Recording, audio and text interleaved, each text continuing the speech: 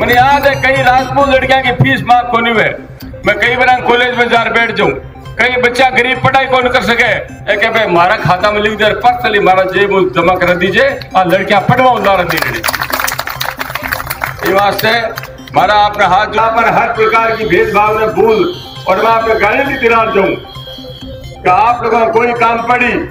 हालाँकि मारे दूर आप काम को नहीं पड़े आपके अब मैंने गारंटी दी कि लालचंद जी पिछाड़ू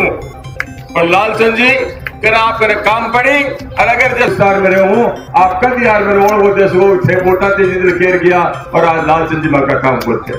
ये वास्ते आपने थोड़ा केवल घड़ो समझो मारवाड़ का आदमी भी आप हाँ दूर आया है गुजर भी आया है, सोनी भी आया है, और यादव भी आया है। पंडित जी महाराज, बागड़ा ब्राह्मण यही बाबू जी कंडा है यही कंडा है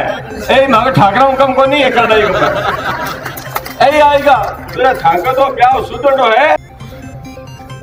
मैं तो माता बहनें यहाँ जो बैठी हैं शुरुआत इनसे करना चाहता हूँ। हिंदुस्तान में कौन सी महिला ऐसी होगी? चाहे हमारी माँ हो हमारी बहन हो और हमारी भाभी हो जो घर से बचा के पैसा न रखती। हो और वो अपने लिए नहीं रखती। इसलिए रखती है कि कभी समय पर योगदान कर सकूँगी। लेकिन जिसको सब लोगों ने वोट दिया, उसने सबसे पहले इनके ऊपर चोट किया। एक मर्द ने शाम के वक्त कहीं बाहर जा रहा था, कहा कहा कि अपनी पत्नी दो दो ही दे दो। तो उसने कहा कहा हमारे पास अब नहीं है? तो कहे कि नहीं, देख लो, कहीं अलमारी वगैरह में कहीं पड़ा हो। और नौ, दस बजे रात को जब लौटा, खाना खिलाते वक्त उनकी पत्नी बोली कि जी, ये कुछ पैसा है, इसको बैंक में जमा कर दीजिए, नहीं तो नरेंद्र मोदी बोला है कि कागज़ का टुकड़ा हो जाएगा। आज तो समूह आप देख रहे हो, राजपाल जी के पक्ष में, कांग्रेस के पक्ष में, वो राज्यपाल जी के द्वारा दस साल में लोगों के साथ नहीं मिलना, लोगों के साथ कुंबल नहीं होना, काफ़ी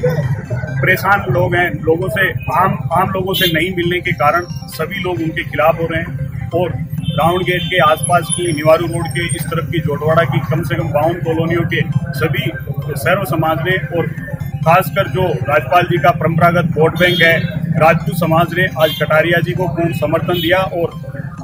आने वाली 11 तारीख को 7 तारीख को मतदान करके उनको विजय बनाने का संकल्प जो लिया है, निश्चित रूप से आज लगता है कि इस बार Lalchand ji Kataria 100 percent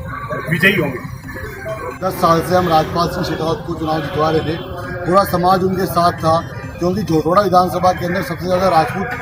vote bank है, इसलिए सभी राजपूतों ने राजपाल सिंह को वोट दिए, लेकिन पिछले दस साल से उन्होंने कोई भी कार्य नहीं किया है, इसलिए इस बार पूरे राजपूत समाज ने ठान लिया है कि हमें लालचंद जी जो कि लोकल यहाँ के हैं सिरसी रोड पे उनका रहते हैं, जो मकान है उनका, सबने उनका साथ देने का ठान लिया है। और इस बार लालचंद कटारिया साहब की एक सौ एक परसेंट जीत